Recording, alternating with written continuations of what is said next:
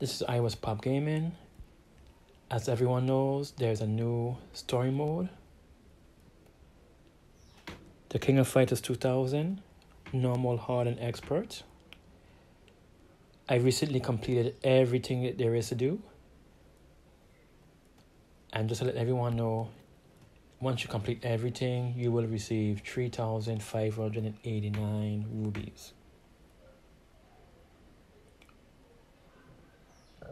You know, if it's wanted to you or not, it's up to you.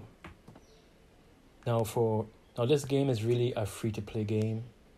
I love it that they gave people all of these rubies. So just let everyone know in the last the last mission, it is recommended that you recommended that you have twenty seven thousand six hundred and eighty CP. Now, I know a lot of you, a lot of casual fans may may not have enough, may not have teams that have that CP. Now, this new story mode takes into account the revi- reviving Hell's dungeon.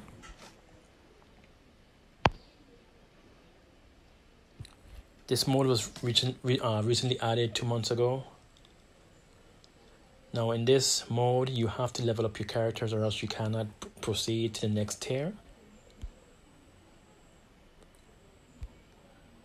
So if if um so if your characters are not don't have that and must CP, then I then I suggest that you all you need to do is go to the fighters section, upgrade your characters, awaken them if you can. As a matter of fact, it is worth it because just like every other car, um, just like every other story, you get bonuses for get bonuses at thirty three percent, sixty six percent, and hundred percent. This has been iOS Pop Gaming out.